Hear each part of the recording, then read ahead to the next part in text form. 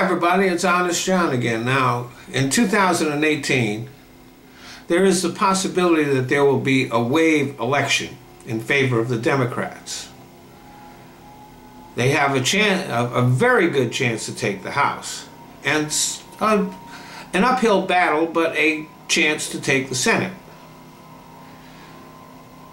The Republicans are cratering. Their tax cuts, which are, were extremely unpopular. I mean, who wants to give more money to the rich? Why do we need to blow up the deficit so that the rich can get richer? And Donald Trump's racism, sexism, ignorance and stupidity and utterly repulsive behavior and personality have created the possibility that the Democrats could win big in 2018.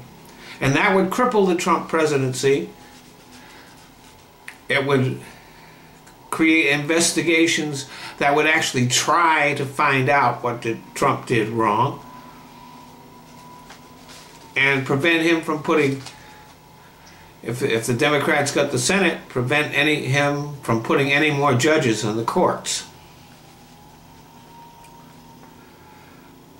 But now I hear that Chelsea Manning is running for the Senate in Maryland.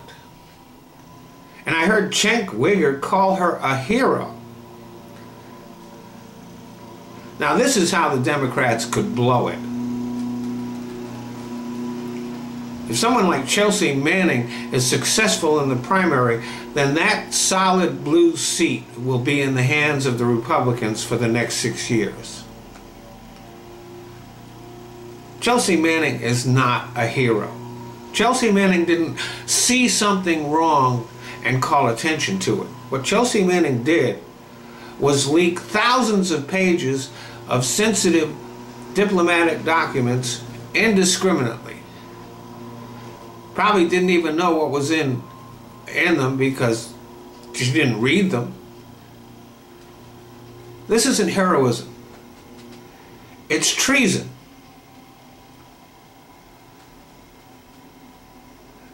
Now I'm sure a Manning candidacy would make the extreme left cream their jeans.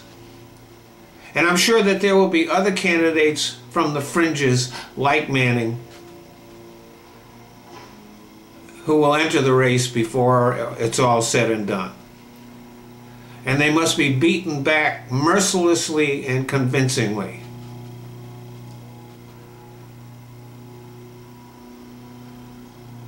The last thing the Democrats need is to be associated with treason. Leave treason to the GOP. They're good at it.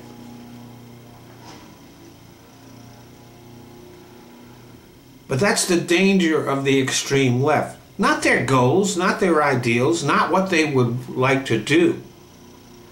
But that they will stupidly allow this country to be dominated by the extreme right. Thanks for listening.